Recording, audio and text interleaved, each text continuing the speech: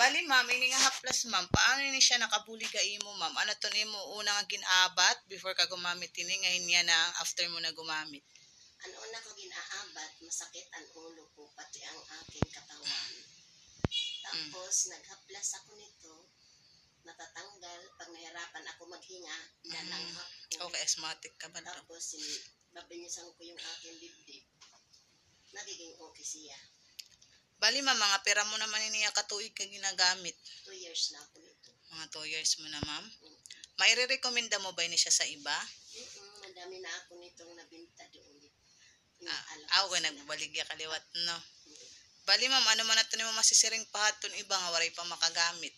Ang masisaring ko, Rubarinillo, ang panhaplas. Hmm. Congratulations ma'am, damo nga salamat. Ano potro na ton edad ngaran nga taga diin. Ako si Virginia Liantos, taga Canlapos, Procono, Katbalogan. 59 ang aking edad. Thank you ma'am.